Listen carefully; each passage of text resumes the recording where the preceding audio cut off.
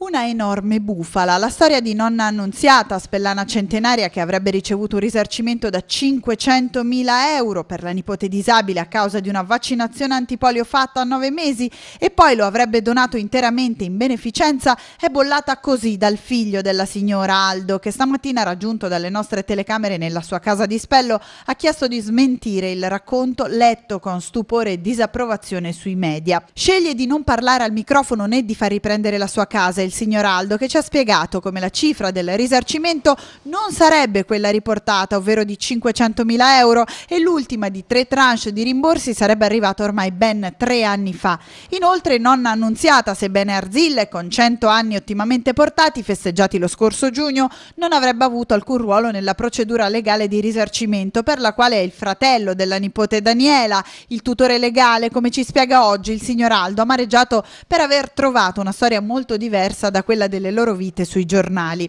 È comunque una storia di coraggio e solidarietà la loro, considerando anche che la famiglia, dopo aver affrontato la morte della madre di Daniela, ha davvero voluto fare una donazione, seppur di minore entità, quella del pulmino regalata all'Associazione Arcobaleno grazie al ricavato della festa dei 100 anni di nonna annunziata tenutasi lo scorso 13 giugno, alla presenza anche del sindaco di Spello Sandro Vitali. La somma integrata dalla famiglia del signor Aldo ha permesso di dotare l'Onlus di un mezzo mezzo più efficiente. Aldo ricorda come il risarcimento per la disabilità della figlia sia inoltre arrivato molti anni fa, così come la seconda integrazione, giunta quando la moglie era ancora viva.